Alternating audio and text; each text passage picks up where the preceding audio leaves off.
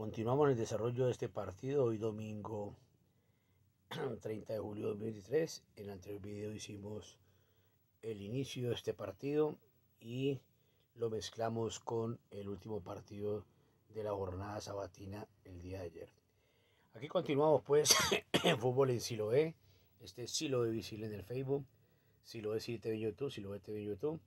Desde la urbanización Venezuela, aquí en el embalse del río Cañabaralejo con una temperatura que ya va subiendo, ya van 27 grados centígrados, comenzamos con 26 y ya avanzando la temperatura, aunque el sol todavía no empieza a salir acá en la montaña mágica de Siloé.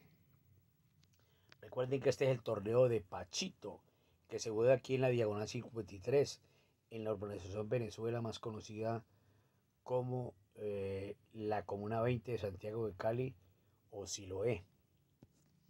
Todos los, todos los días estamos haciendo videos de estas partes del embalse del río Cañabralejo y otros sitios de la comuna para mostrarle el desarrollo de lo pujante que es la población que habita el territorio de Siloé.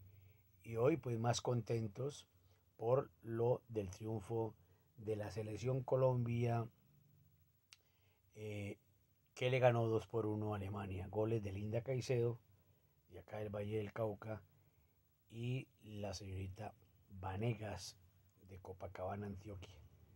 Así que con las mujeres sacando la cara por los caballeros y sacando la, la, cara por todo el país, nosotros seguimos en el fútbol criollo, en el fútbol de la Comuna 20 de Santiago de Cali, más conocida como la montaña mágica de Siloé. Repetimos, ya subió la temperatura a 27 grados centígrados, hay algo de viento, todavía el calor no es muy fuerte a estas horas de la mañana, cuando ya nos vamos acercando al mediodía de este 30 de julio de 2023. Y nosotros continuamos